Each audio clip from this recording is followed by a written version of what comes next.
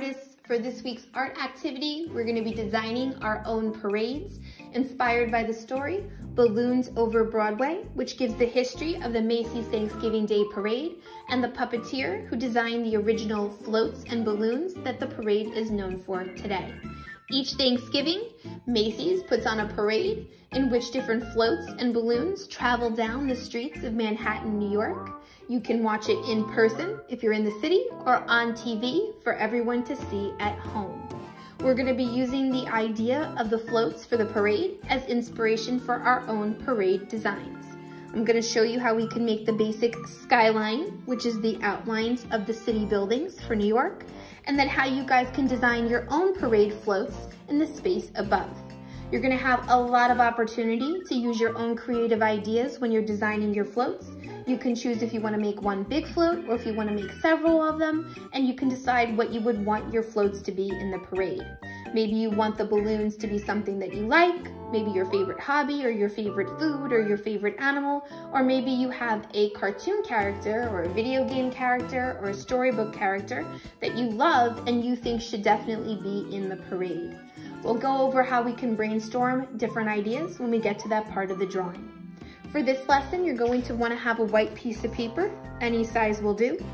We need a pencil to draw and make sure you have an eraser. And for coloring, you have choices. You can use whatever materials you like. If you've got crayons, you can use crayons. If you've got markers, you can use markers. And of course, you could always use colored pencils or you can combine all three. I just used crayons for mine and it was perfectly fine. So let's collect our materials and get ready to start our parade designs. Okay, before you start to draw, you're gonna wanna take your white paper and turn it horizontal across. This will make sure that you have enough room to fit the buildings in your skyline and leave you space up above for your balloons. Now, starting with the skyline, we're gonna be making the basic shapes of buildings that you would see in a city, also known as skyscrapers. We're not gonna get into too much detail because a skyline is something you would see far away. And when something is far away, you don't really see too much detail. You just kind of basically see the main shape of the buildings and maybe some windows. Now, we don't wanna start our skyline too high because if we put it too high, we won't have any space above to design our balloons for the parade. So we're gonna come down towards the middle and maybe even a little lower where we start. Now you guys are drawing with a pencil. I'm drawing with a Sharpie just so you can see. Remember, you should always start with a pencil in case you make a mistake. Now, if you think of skyscrapers, or if you've been to New York City, not only are they tall, but they're basically just simple shapes. Most of the time, their outline is kind of like rectangles. Sometimes the roof is a little rounded or a little pointed, so we can kind of put those different lines and shapes together, and we can use them to design our buildings. So I'm gonna start here at the edge. And I'm gonna make a building first that's almost just a rectangle to begin with. So I'm gonna go across and straight down. Now the buildings in a skyline, especially in a city skyline, are close together. So I'm gonna start the next one touching the first one. Maybe this building, I want it to be a little bit different. Maybe I make it a little taller with a pointed top. And I come back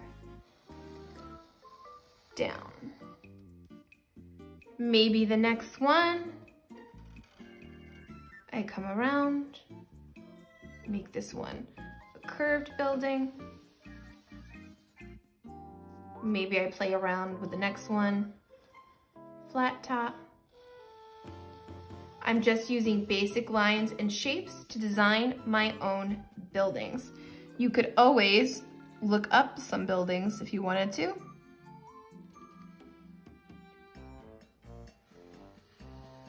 In case you wanted to do some very specific shapes, it's up to you. Make this one thinner. And I'll make this one a little bit wider, all the way across. Now that you have the basic shapes of your city skyline buildings, we can go back and we can use different shapes to add windows. So I'll just make these rectangles and I can spread them out. Maybe this one has squares. I could even make the lines so it looks like it's reflecting the light. I don't have to go all the way down with my windows. I could make this one a half a circle.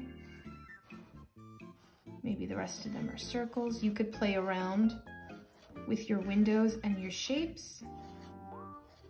It's up to you.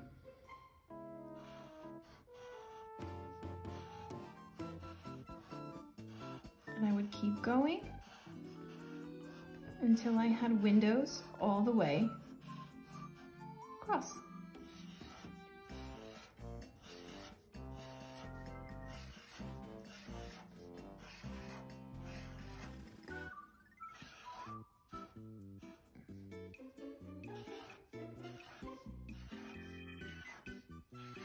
And finish up my last one.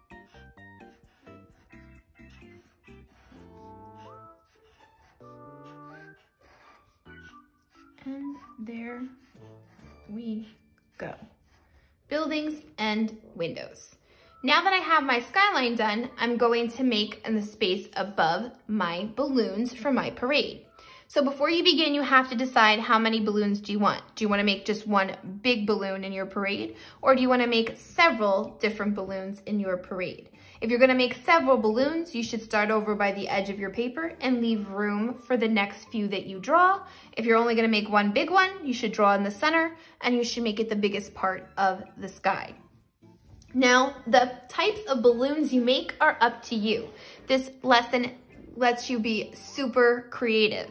So you could think if you were in charge of making the Thanksgiving Day parade and you got to pick what types of balloons were in the parade, what balloons would you make? Maybe you have a favorite athlete or a favorite singer or a favorite actor or actress, or you have a favorite comic book character or a storybook character or cartoon character like SpongeBob or Mickey Mouse that you would absolutely want to put in your parade. Or maybe you would make a balloon that is your favorite food. Maybe you love ice cream and you wanna have an ice cream cone balloon. Or maybe you love sports and you wanna have a basketball balloon. It's up to you. You gotta kind of brainstorm what balloons you would put in the parade if you were in charge. Now, if it's something like a specific character that you don't know how to draw, you guys have your computer in front of you. You could always Google pictures of that character or how to draw Mickey or how to draw SpongeBob, how to draw Minnie Mouse, things like that. And you could find drawing lessons that would help you if you needed it. So if it's something that you're not sure how to draw, you could always kind of research it a little bit online and find a picture that you need. Once you have your idea of what you want to make, then you're gonna draw your balloon in the space up above. Because if you ever saw the Thanksgiving Day Parade, you know that the buildings are below and the balloons are super high and they float above the buildings and everybody watches them from down below. So let's see. I think for my balloon, I'm gonna make a paint palette because I love art, of course. So maybe I make a paintbrush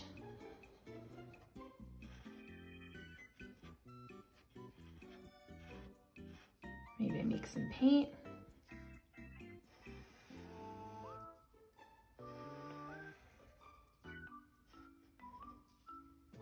Maybe I make a paint palette behind it as part of this balloon.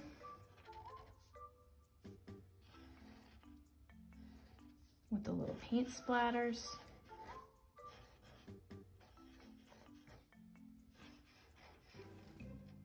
Right? Maybe I make a ice cream cone.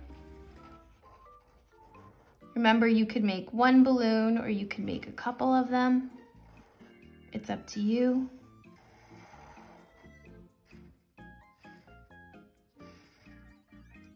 Lots of possibilities for this project. It lets you be super creative with your balloon ideas.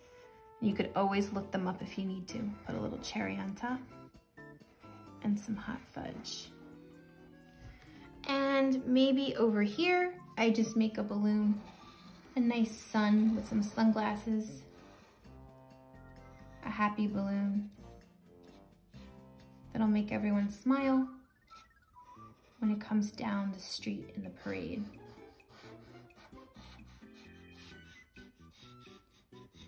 Once you have your balloon or several balloons drawn, the most important part is you make the strings attached to the balloon. Otherwise, they're just gonna float away.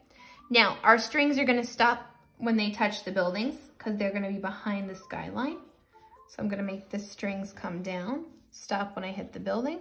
You're probably gonna need a couple of strings for each balloon. If you ever happened to see the parade, you'll know that each balloon has lots of strings and lots of people holding them to stop them from floating away. So you're gonna wanna put a few for each of your balloons. And there you have your drawing of your New York City skyline and the balloons over Broadway, whatever balloons you want in your parade. Once you have your balloons and your skyline drawn, you can take your markers or your crayons and your color pencils and you can color in your picture. Here's my example from the beginning. This one I did three balloons too. I did the paint palette. I did pizza because it's one of my favorite foods. And I did a nice little happy pig because I thought it would be a fun little animal to add to the parade. If remember, it doesn't have to be more than one balloon. You can do just one big one in the sky and you can choose to make it whatever you want. You could also even look up pictures if you need ideas of specific cartoon characters. Maybe you wanna make SpongeBob, maybe you wanna make Goofy, maybe you've got a special comic book or superhero character that you wanna make. If you wanna look up images while you're drawing, of course you can do that to help you out. When you are coloring, you choose what you wanna use. Just make sure you color in neatly and completely. Take your time with your work Get super creative with your balloon and parade designs. Remember, you are in charge of your parade, so you decide what type of balloons you want in it. Good luck with your work, and I can't see, wait to see what it looks like when they're done.